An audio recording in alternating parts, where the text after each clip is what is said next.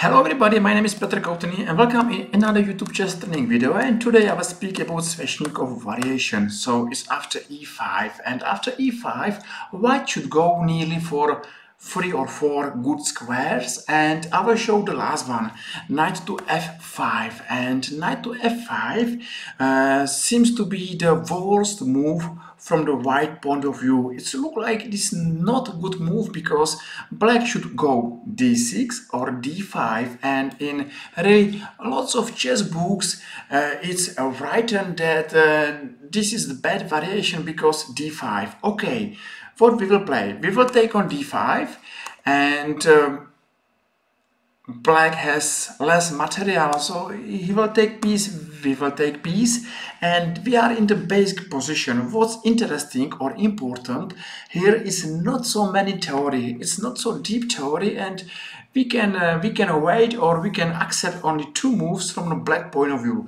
Black should take uh, on d1 queen or on a c6 pawn. So in this game I will show when black will take on c6 and maybe in uh, next games I will show what's going on when black will take on d1 queen. It's a really simple variation because we will take by knight and now we are in a basic position of this small variation of Sveshnikov defense.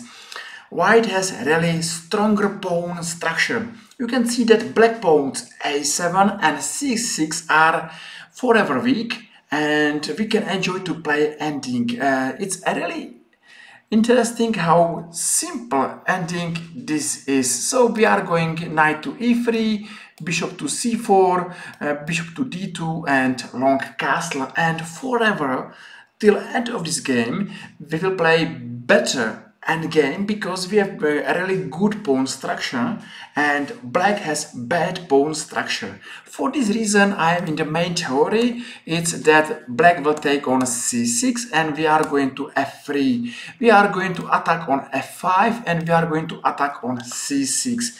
Black has only two moves. He should go to c8 or d7 because he has to take care about c6 pawn and f5 bishop. So uh, bad move, bad move is uh, to c8 and now I will show a really shocking move when white is playing bishop to a6. Okay, if black will take on a6, we are going to take on f5 and it's really difficult to save this pawn because bishop to d6 I have for you another shocking move bishop to h6 and this is virtually winning for white. Game over. For this reason uh, after move to d uh, to f3 black is going to play to d7 and uh, the best move is going to g5 and now black should go. Bishop to e7 bishop to b4 and bishop uh, and e4 uh, maybe maybe this should be everything what you need to know. Uh, you will aim to play a really good endgame position. You will not need to learn really 100 moves in theory in Sveshnikov theory. And in next 10 games I will show examples how to play this variation. So in the main variation we are going to f5 we will take on d5, we will take on c6 and going to f3, bishop to g5, e4. And as I told you, we have a really good pawn structure and for us is really interesting to go for endgame. So we are going to d1 and we can offer black endgame. You can you can see our if we are white our our pawn structure which is really without weaknesses and black pawn structure where is really really so many weaknesses. For this reason maybe black should go to c7 but this is a mistake because we will take on f6 and going to beautiful square on d4 this is a big advantage for white. Centralization queen um, no weaknesses and you know just check this game. Uh, yes if now black is going to e5 and wish to exchange uh, uh, pieces uh, it's too late. It's too late because we are going to a4 and we wish to win this game. And here we are winning because we are playing knight to d5 and that's game over because if um, black is going to castle we are taking material. There is no option to go back because we will take on c6 a really simple example and we can go for another game. And um, okay we are going to f5 we will take on d5 c6 uh, to f3 to d7 e4 we are going to offer exchange of queens. Um, black should go to b4 we will exchange queens because we wish to go to endgame. And we are going back to d2 we don't want to see our bad pawn structure. We have to be careful about pawn structure and you know we have a really really interesting endgame where um, everything is up to bad black's pawn structure. Uh, it seems like black should have active uh, minor pieces but it's only for few moves Yes, black should play with minor pieces and should improve his minor pieces, but forever in this game we'll have black back a bad pawn structure. These pawns are weak and will be weak till end of this game and this uh, game we can play only for two results. We can win or we can draw, but uh, it's very difficult to understand where black should win this position. For this reason, I will show another example and I believe what's interesting here, this is a really simple. So, um, bishop to c4 we can play, but I don't believe this is good because uh, black has two bishops. So maybe maybe for these reasons we can play immediately bishop to g5 and we are going for another example and what is it here? D5 we will take take take. Uh, yes I saw you I show you that uh, this is a really bad move because of uh, bishop to a6 bishop to g5 uh, and nobody can believe that uh, this position is interesting for black. This is a really unhealthy position for black and this is end of the game. And this is uh, a really example how not to play this variation. And we are going to another one. So d5 and now we see when black will take on d1 we will take by knight this is really important to take by knight um, black has not time to take on c2 because we will take on b7 at the first time black need to take on c6 and we are going to e3 it's important that this knight is going to attack. F5 bishop is going to save c2 pawn and it's a it's really interesting to support uh, bishop to go to c4 it looks like now black has not really good pieces but uh, step by step you will improve it. But uh, it will be difficult for black to improve his pawn structure and this this is everything. Bishop to d3 yes we can exchange these bishops and uh, maybe this endgame you can see it's still interesting for white why? On the c uh, c lines is the really weakened c pawn so we can go uh, rook to c1 c4 c1 a4 b4 b5 knight to c4 and you know it's really difficult to see where black should try outplay us in this position. So I will show this game maybe till end and it's really simple moves 1 to c1 to c4 second to c1 and you can see you can play like grandmaster. Every times you can think if you can um, exchange or not exchange so don't hurry to exchange. And you know this end game this end game is is difficult. You can play from the live uh, left side right side. Don't hurry play your moves and your time will come. Your time will come and you will win this game because you know it's uh, it's really difficult to play for black in this position because it's difficult pawn structure and it's the old through that the pawn structure is really important. The pawns are the soul of the chess and if you have um, bad soul, you have bad chess. And we are going for another example. And once again this what I believe here is interesting because it's a simple.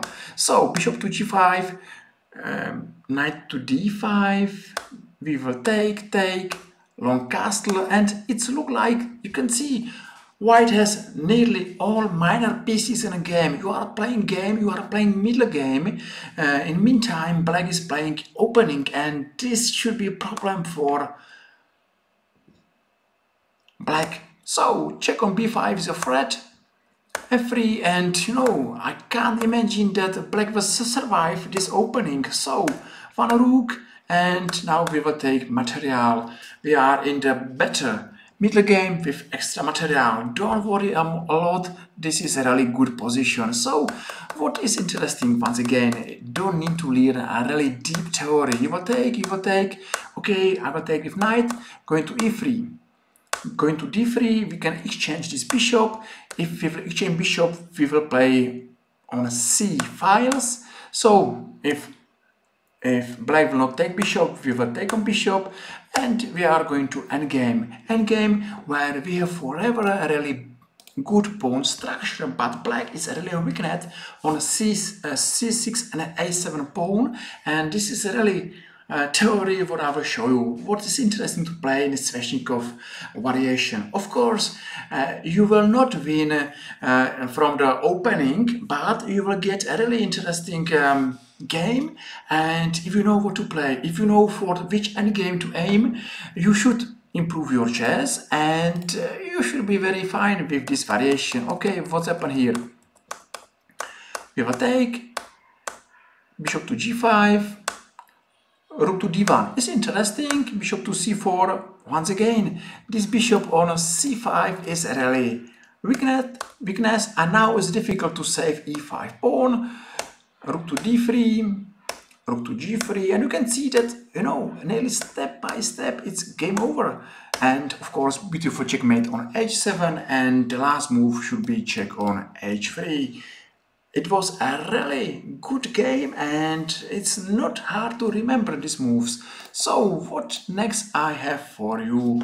I think I have two more games so it's really good because it's simple. So we will take, take by knight, going to e3, going to d2, a long castle, f3, bishop to a6 and this is really threat because you can go to bishop to b7 and you can see that c6 pawn is really weak pawn. So one rook to open file another rook to open a file we will take and but whatever you will take whatever you will exchange you can you have forever here two bad black um, so don't worry a lot about exchanging. Don't, don't worry about endgames you can enjoy this position because what's important is yellow is yellow on this chessboard is marked as yellow. So uh, we are going uh, I believe for one more. And it's simple. Knight to f5 we will take take take. Okay bishop to g5 and we are going for endgame and we know if black will not take we are going to d4 uh, and this is a really good position because um, black is behind development black is in a bad position and black is now lost because we are going to b5 and we won nearly like that? Take take take take take. It's not difficult to remember it's easy to play. And okay two more games maybe. So we will take take take bishop to g5, bishop to d3, yes, welcome to endgame, welcome to play over a c file. Okay, and you know, this is good because you don't need to be hurry. You can play slowly your chess, you can improve position, but forever till end, in this endgame, black will have two bad pawns. That's really everything and I believe this is really interesting. So, one more, why not? Endgame, we can play over c5. So we can put uh, pieces into game, one rook to c1, c4, c1, a4, okay, we can exchange, c3, knight to c4. That's everything what you need to have. Here knight and two rooks somewhere here and you can try to outplay your opponent. It's important to play slowly, slowly and to play move by move to enjoy this beautiful endgame. I hope it's beautiful, I hope it's interesting. So, one more, okay, why not? So, bishop to d3, welcome in endgame, and bishop to e3, and we are playing to c4 as we saw before, and I believe, uh, okay, g4 and c5 square should be interesting, but you know, don't worry, play slowly, you can improve your position and your time will come.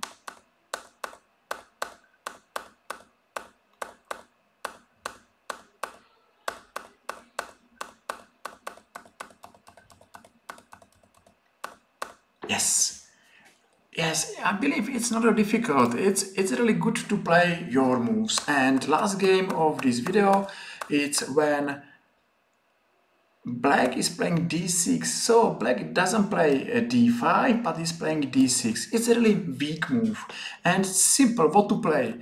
Knight to e3 bishop to c4 and uh, and and and knight to d5 and you will be head or you will be master of square d5 forever black will have not a really strong counterplay and you can enjoy this game. So knight to e3 you're going for a short castle, you're going to d5, and you are um, head of the d5 square.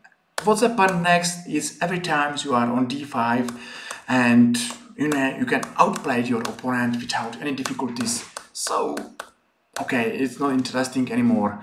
So what I think we should be at the end of this variation, maybe one more, but I believe it's a simple. So maybe bishop to b4 we will take on f6 bishop to d3 and we can yes we can try to exchange our minor minor pieces and nearly everything because this endgame is okay for us. In this position is interesting to play rook to rook to e1 and I will show variation maybe uh, rook to e4 h4 and you can attack on h7 with move f4 and here for example rook to f3 is mistake. The best move is rook to h6 and uh, maybe after to g7 you will take take and take on c6 with really big chances to win this game. And that's everything what I